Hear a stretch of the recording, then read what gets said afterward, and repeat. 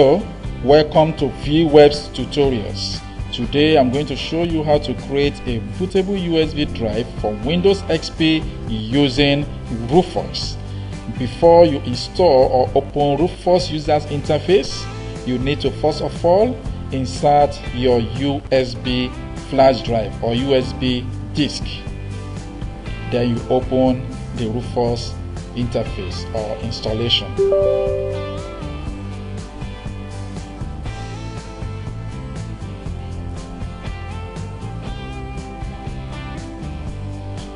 Yeah this is opened.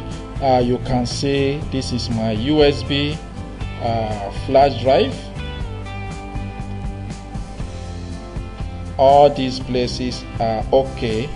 The only two alterations you need to do is to uncheck this. Create extended label and icon file. Uncheck this then make sure ISO image is selected here. Then here you need to select the ISO image.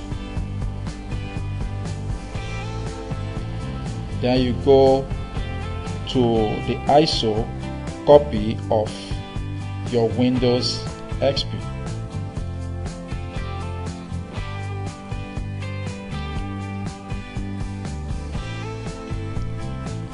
now it is ready. You need to click on start.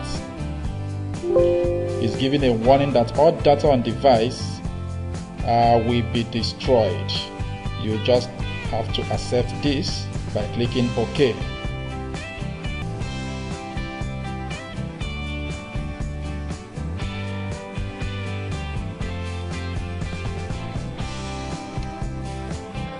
The jump has started. I'm going to pause the video uh, for just some minutes.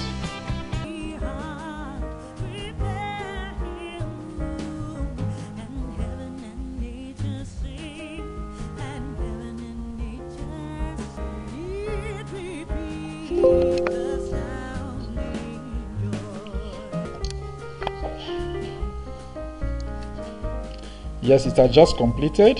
Please leave your comment below. Let me know if you are successful or not. Thank you very much. Bye for now.